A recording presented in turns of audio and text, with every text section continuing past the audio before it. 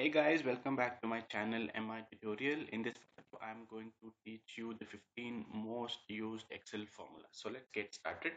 The first one is a VLOOKUP formula. I have a sample data set here and I have a city name here and let's say I want to pull up the sales value against the city by using the VLOOKUP. I'm going to type is equals to followed by VLOOKUP you can type the tab key to complete the formula or you can write the entire formula and open the bracket. So it's asking you to enter the VLOOKUP value. So in this case it's going to be the city. Uh, I can just do this. Okay. And in comma. It's asking you to enter the table array from where we are. We need to fetch the data. So we're looking up from city and I need the sales volume which is in the second column so i'm going to hit comma. Co column index number is going to be 2 in this case because it is the second column. And my range lookup value is going to be 0 which means that i need an exact match. And click on enter. So basically what this will do is it will look up for bangalore in this table and return the first value from the from a from sales column. And you can drag this formula down to get the uh, value lookup values for the other cities. For example delhi delhi the first value is 654 so please remember that this particular formula will only give you the first result. So uh, delhi is repeated twice here as you can see but it will always give you the first result. All right so we are done with the VLOOKUP formula now. So let's get to the second formula which is a sum formula I'm going back to my sheet and I have a sample data set here. It has city, sales, volume and date. And let's say I would want to see the total of sales uh, and the sales volume. So I'm just going to type in total here and I'm going to enter the formula is equals to sum open bracket so it's asking you to enter number one number two so you can do this comma this comma this. Alternatively to make to make this formula work faster you can just drag this down till here and close the bracket. And there you have the entire sum. The other way of looking at the total sum value is by just dragging this here. And you can see the sum value here which is exactly as this. And the same thing let's say uh, you want to uh, you know sum up the volume.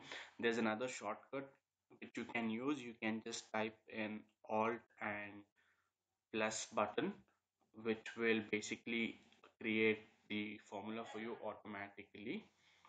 Hit enter and it will give you the value here. So this is a tip for you guys. I hope you guys i hope this is going to help you so going back to my sheet here so we finished with the sum formula as well. And I'm going to teach you how to use the SUMIF formula. So let's go here. Right so we looked at the uh, VLOOKUP uh, formula here but uh, the VLOOKUP formula is only giving us the uh, first value. But let's say now we want to uh, sum the uh, total sales for this particular city. So how shall we do it? So in this particular case i'm going to use the formula which is sum if. I'm going to type this open bracket. So it's asking for you to enter range and i'm going to select the city this range where i'm looking at and say comma my criteria is going to be this column which is the city here above and comma it's asking me to enter sum range. So basically it's asking me what should i sum. So i'm going to select the sales value here. I'm going to close the bracket and hit enter. So basically this has summed all of the sales value against bangalore. So now if you see bangalore is here as well as here. So the total value here is 45,576 which is just repeated here and you can simply drag this formula down to create the sum for Delhi and for Kolkata right so now we are done with the sum if formula as well now okay so now let's get on to our next formula which is the I'm going back to my data sheet here. So let's say you want to count how many rows are there in this particular uh, data set. So I'm going to type in is equals to count and open the bracket. And I'm going to select this column here and close the bracket and press the enter button. So it tells me that there are nine rows in here. So make a note that this particular formula only counts the numbers and does not count any alphabet if there are any.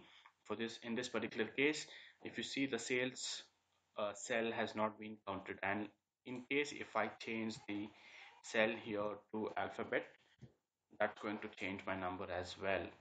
So make a note of that. All right so now let's move on to our next formula which is a count if formula. So I let's say I want to count how many rows are there for Bangalore or for Delhi or for Kolkata. So I'm going to type in is equals to count I'm going to go down and press the tab button for the uh, auto formula to complete. So it's asking me to enter range. So i'm going to enter the range here which is the city column. And my criteria is going to be the city which is here. I'm going to press enter. So it is telling me that bangalore is repeated twice in this particular data set. I'm going to drag drop drag and drop this down so delhi is repeated twice kolkata is repeated twice let's say what happens if i change this delhi to kolkata my Kolkata count is going to become 3 and Delhi has been reduced to 1. Alright, so now let's move on to our next formula which is the count A formula. So count A formula is a formula which counts the number of cells in a range that are not empty. Uh, now before I start with this, let me actually uh, create a data set so that I can work with this formula. So I'm going to create some empty cells between this and uh, let's say you're working with a huge data set and you want to see how many rows are actually filled with the data and uh, in this particular case we can use the count a formula to identify that. So i'm going to use the count a and click the entire column here. Close the bracket and hit enter. So that's going to tell me that you know even though there are 13 rows here but there are only 10 rows which has the data. So this is 3 this is 7 9 and 10 you can see the count here. So you can use this formula to sort of count the uh, number of rows which has the data excluding the blank. Okay i'm just going to delete this so that i can work on my next formula. I'm going to delete this as well. Going back to my sheet so we are done with count a as well. All right so next formula is our is the average formula. I'm going to go here now let's say i want to find out what's my average sales and my average sales volume. I'm going to expand this a little. Okay so I'm going to type in average. Is here. I'm going to press tab to auto complete it. Now um, you can select the entire column here and close the bracket and say enter so my average sales is 2,93,016 and I'm going to do the same thing for my uh, sales volume as well. So I'm going to select this and I'm going to close the bracket and hit enter. So my average sales volume is 30.33 okay so now let's move on to our next formula which is the concatenate formula basically what this formula does is it will combine two or more cells. Oh, and I'm going to start with is equals to concatenate. So it's asking me to enter text one text two. So i'm let's say i'm just for an example sake i'm going to concatenate bangalore and the corresponding sales volume. So i'm going to type bangalore comma and then I'm going to type in sales I'm going to hit enter. So basically what this has done is it has concatenated the Bangalore and the sales column. And I can just drop drag and drop this down to create the other values as well. All right so now let's move on to our next formula which is the if formula. So this formula is basically a formula which will give you a true or a false result and you can customize it according to your wish. So let's say if I want to create a formula to check if this particular cell here until here is Bangalore or not. So I'm just going to type in if formula logical test. If my this cell is equals to Bangalore then return to me. So if it is true it should return as yes. If it is not true then it should return to me as no. I'm going to uh, close the bracket and hit enter. So this has returned yes because the cell A2 value is equals to Bangalore. And what happens if I drag and drop this down? So it tells me that this is not Bangalore this is not Bangalore and whenever it's Bangalore it tells yes. So you can play around with your formula and uh, according to the data set that you have and customize it the way you want it. You can change this to uh, say whatever you want. Let's say you want this as true and you want this as false you can do that as well. And when you drag it that's going to change to true and false. So it basically depends what your need is and you can customize this formula accordingly. Let's move on to our next formula which is our if error formula. So basically uh, uh, this particular formula is going to uh, tell you uh, let me actually use an example of uh, VLOOKUP here let's say uh, so i have bangalore mumbai delhi kolkata and chennai. Let's say i add another uh, city which is um, chennai. Let me get rid of chennai from here. All right so what happens is if i use a vlookup in this case and select this cell comma and get me sales from Chennai, this is going to return an NA for me. And let's say we do not want to see this NA. So in this case, we can use the if error formula. So I'm going to type in if error, go the select uh, the formula here, press the tab button. So this is the value that I want.